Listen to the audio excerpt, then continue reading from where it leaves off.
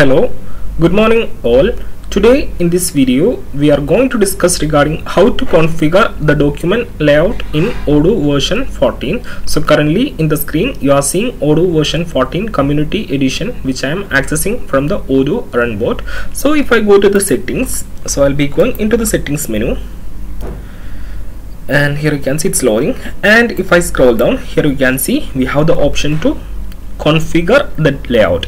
So the document means that we have different reports in the system. Like we can print sales order report we have we can print the purchase order invoice bill etc so i'll be doing one thing. I'll be duplicating this tab first. So we can take the reports from here. So i'm just duplicating the tab. And if i go to the sales menu and if i open a record here we have the option to print the quotation bar order. So if I print the quotation bar order in Odoo 14 you can see how it is coming. So right now it is coming with a look and feel of like this. Like here we have red color and here we have the green color.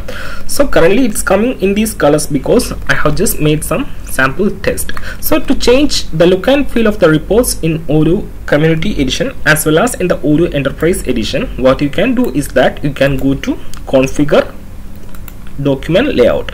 So what you have to do is that just go to the settings and from the settings you can see there is an option to configure the document layout.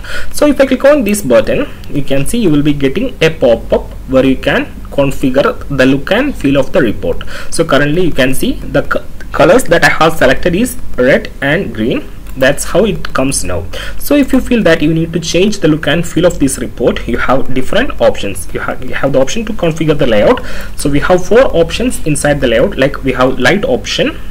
We have the boxed option. You can see once I select the options here instantly it's getting updated here so we can see the instant preview here. So if I choose clean it will be coming like this.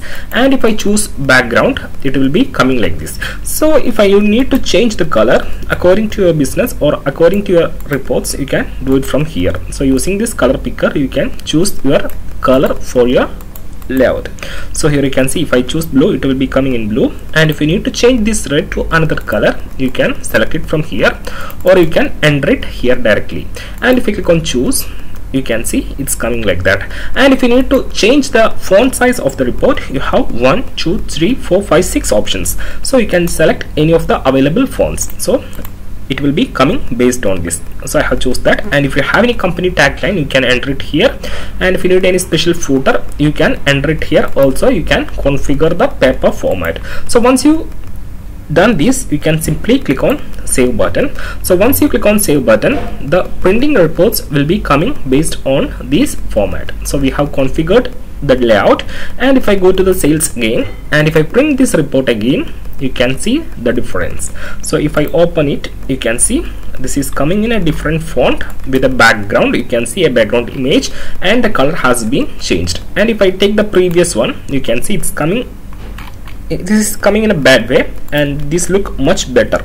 You can see we have different fonts different colors and look and feel of the report has been changed. So what you have to do is that you have to simply go to settings and from the settings you can access this option like configure the document layout. So it's here. Simply click and open that and choose your font choose your colors choose your layout etc from here and print the reports. So right now we have tested the sales report and now if I go to the purchase you can see all the reports in the system will be getting changed based on the selected layout.